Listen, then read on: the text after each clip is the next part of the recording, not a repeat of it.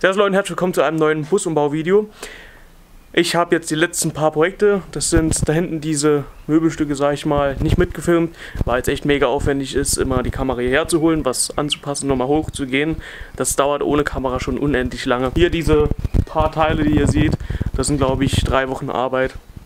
Und Trotzdem wollte ich das Ganze jetzt doch noch ein bisschen festhalten, denn jetzt kommen wir zu so ein paar Arbeiten, die nur noch hier im Bus stattfinden werden, wie so ein paar Feinheiten, aber auch noch eine größere Küche, die muss ich noch bauen. Und da werde ich die Kamera so ein bisschen mitlaufen lassen und ich weiß noch nicht genau, wie ich es machen werde. Ich werde es einfach mal mitlaufen lassen und den Rest werden wir dann am Schluss vom Video sehen.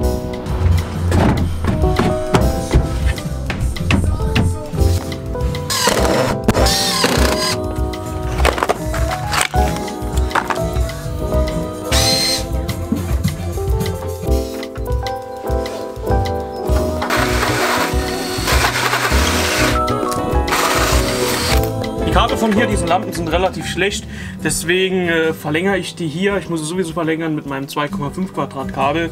Das hier ist nur sehr schwaches 1 Quadrat Kabel. Und ich habe hier solche coolen, wie heißen die Teile? Krimp, Schrumpf, Schläuche. Da könnt ihr die ja mit der Zange zusammenkrimpen und könnt es danach dann mit dem Feuer heiß machen. Und die sind dann auch wasserdicht. Das erleichtert einem auf jeden Fall die Arbeit.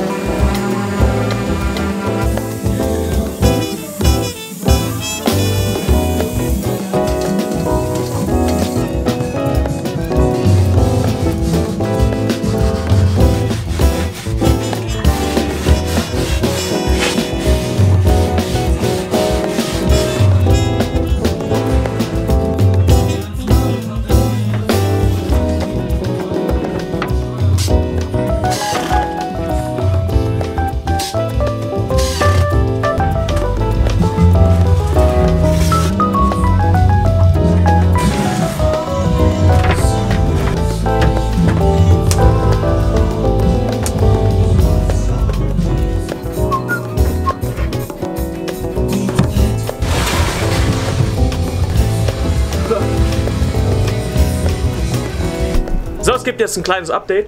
Ich habe relativ viel nicht gefilmt vom Küchenbau. Das liegt daran, dass es alles Plattenzuschnitte waren und es ist nicht so cool. Und immer filmen, wie ich drei Platten zusammenschraube, finde ich auch nicht so cool. Und ist zudem noch sau aufwendig zu filmen. Deswegen werde ich dir mal zeigen, was ich bis jetzt, was ich bis jetzt fertig gemacht habe. Hier sehen wir zuallererst mal zwei Kisten. Und hier ist die dritte.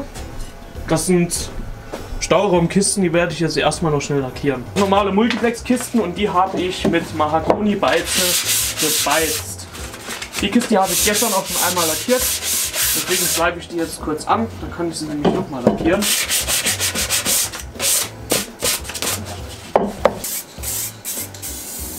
Diese Dosen hier sind übrigens die günstigen, die ich im Internet gefunden habe.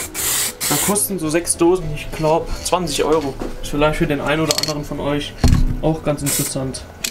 Meine Werkstatt ist ein echtes Chaos, aber ich hoffe, dass sich das nach diesem Busprojekt echt mal wieder verbessert. So, als nächstes seht ihr hier meinen Abwassertank. Das ist ein KG-Rohr, das ist glaube ich einen Meter lang ungefähr.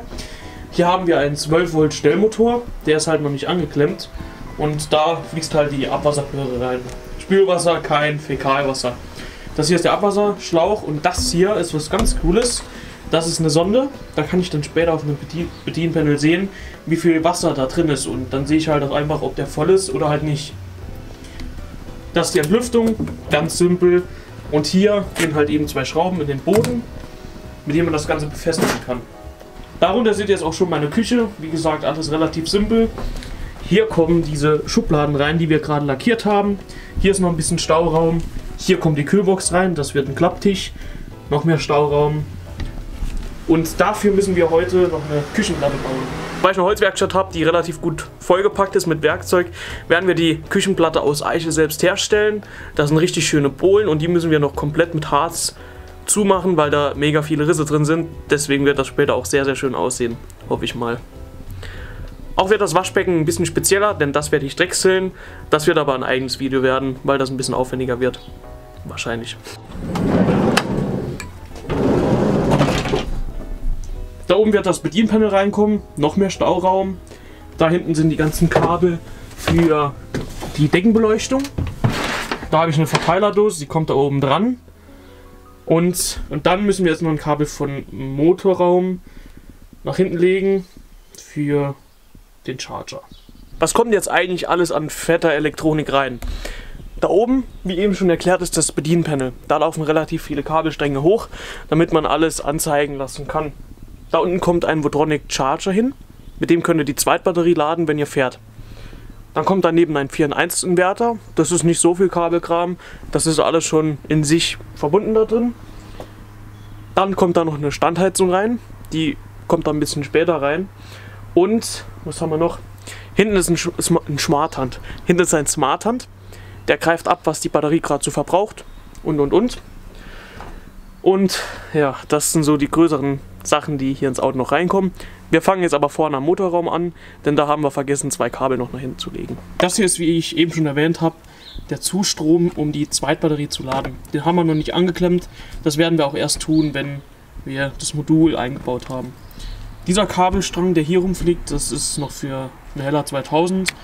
Die habe ich aber noch gar nicht dran. Dafür haben wir nur mal ganz am Anfang schon mal die Kabel belegt. Das hier ist die Sicherung. Das hier ist eine andere Sicherung, als das eigentlich in dem Set drin war, aber hier, die ist wasserdicht und man sieht, ob sie noch ganz ist. Fun Fact, mein Tacho ging mal, ich glaube, einen Monat nicht, weil ich irgendwie an eine Sicherung gekommen bin und die rausgezogen habe. Ja, ist für alle die ein interessanter Tipp, die ihr Auto mit weniger Kilometer verkaufen möchten, als das es eigentlich hat. Weil dann hat das Auto auch nicht die Kilometer gezählt. Dann haben wir hier unten noch ein Kunststoffverkleidungsstück wir das auch schon wieder draußen. Eieieiei.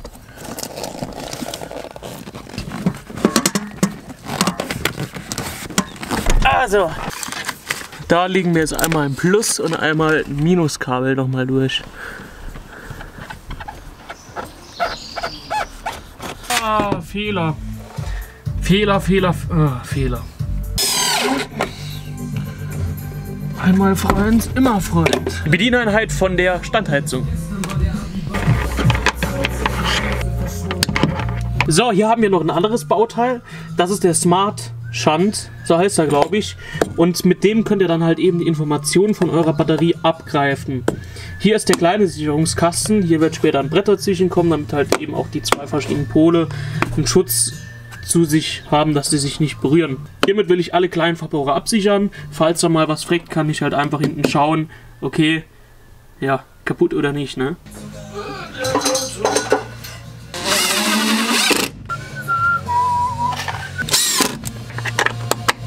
Lichter sind fertig angeklemmt. Ich habe noch ein paar andere Kleinigkeiten angeklemmt, wie das Radio. Das Radio ist jetzt endlich wieder angeklemmt. Ich bin nämlich die letzten Monate ohne Radio rumgefahren. Und die Dashcam nach hinten ist auch wieder angeklemmt. Da sehen wir ein Loch. Da werde ich jetzt einen Abwassertank wieder nach oben durchgeben, damit ich ihn heute Abend noch zukleben kann.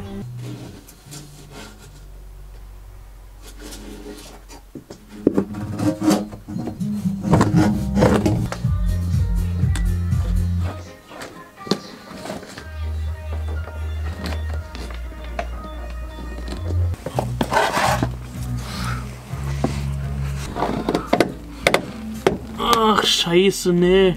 Gibt's doch nicht, oder? Komplett an die falsche Stelle die Scheiße gemacht. Ah, er hält, er hält, er hält, er hält.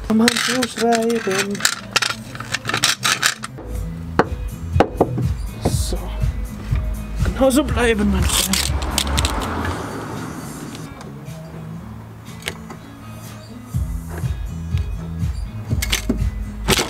Ihr seht, ich habe hier oben schon einige Kabel durchgezogen. Das sind viele Informationskabel.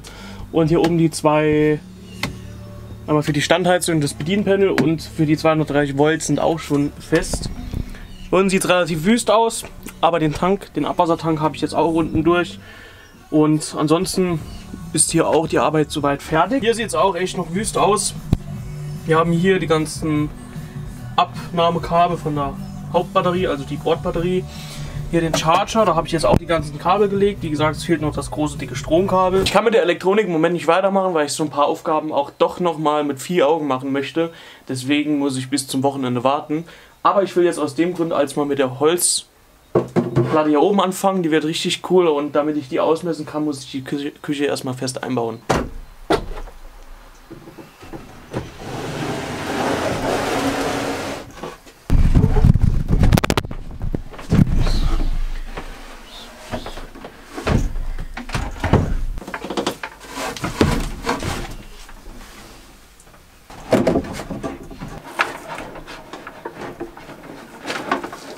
Holz für die Küchenplatte.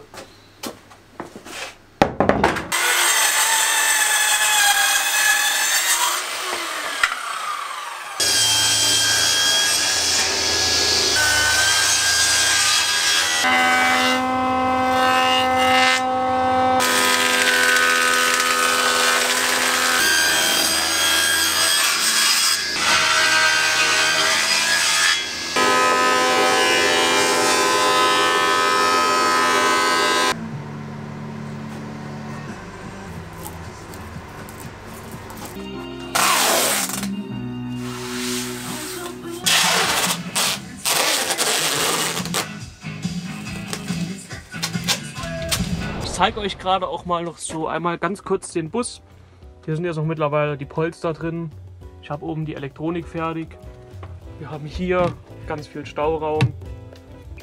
Hier ist der Kühlschrank drunter. Das Waschbecken. Vorne ist alles fertig. Und weitere Infos bekommt ihr dann noch im nächsten Video.